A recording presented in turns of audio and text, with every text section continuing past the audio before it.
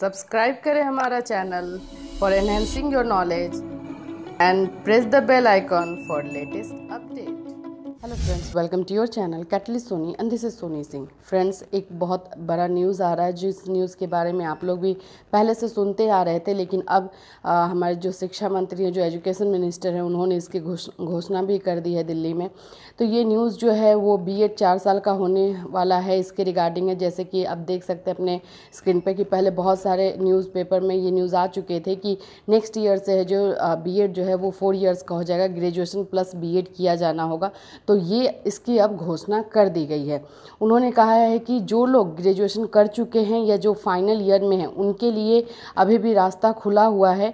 Five years तक ये जो बीएड है टू ईयर्स का, इसको बंद नहीं किया जाएगा।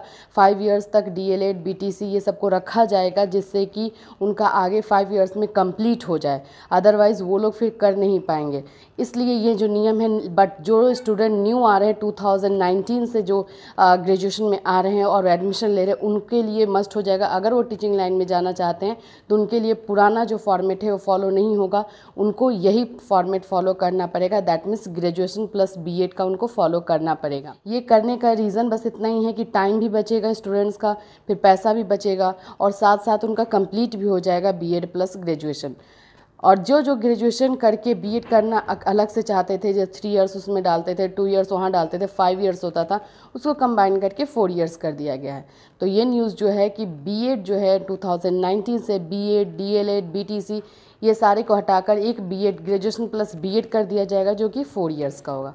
तो फ्रेंड्स आप लोगों को पता है, ये बहुत ही लेटेस्ट न्यूज़ है। तो जो लोग भी 2019 में एडमिशन लेने जा रहे हैं ग्रेजुएशन में और जो ये चाहते हैं कि उनको टीचिंग के लाइन में जाना है तो उनको साथ में ही एडमिशन लेना पड़ेगा।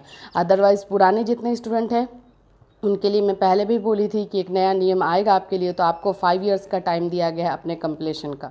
ठीक है फ्रेंड्स तो अगर आपको वीडियो अच्छा लगा है तो इसे लाइक कीजिए चैनल को सब्सक्राइब कीजिए और जितना हो सकता है उतना शेयर कीजिए। फिर मिलती हूँ दूसरे वीडियो के साथ, तब तक के लिए हैव अ नाइस डे